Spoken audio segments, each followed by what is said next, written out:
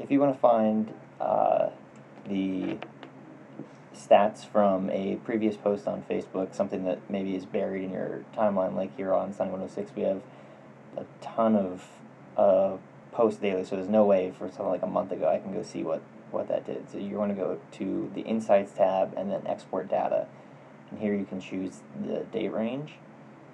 Uh, it gives you all kinds of options. There's a maximum amount of dates, but I'm not sure exactly what that is at the moment. Then once you have your dates selected, you're just going to hit OK.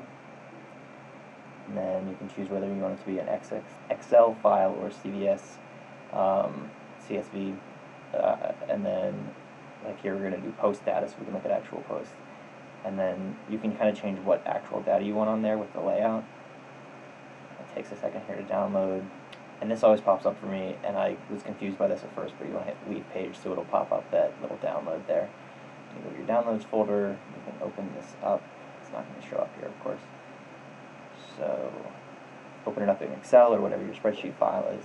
And once this loads up, there will be all your posts for the last uh, whatever period of time you chose. There's all kinds of data over there to the right, which I'm not even going to show you because it's not the best way to look at this information.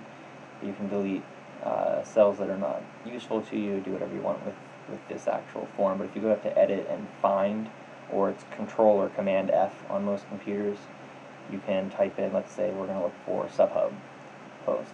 And we're going to say find next.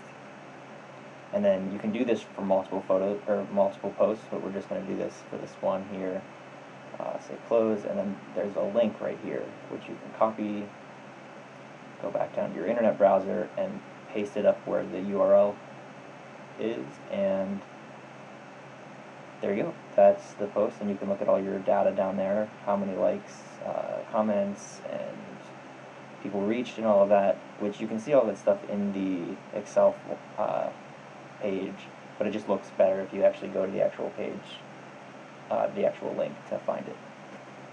And that's how you go back far into your data and look at the insights from old posts.